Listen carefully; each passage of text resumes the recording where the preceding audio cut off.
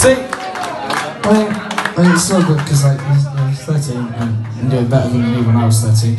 Uh, they, they can back you up on that. Not Simon though, because he wasn't, I didn't know Great job, Jess. well done.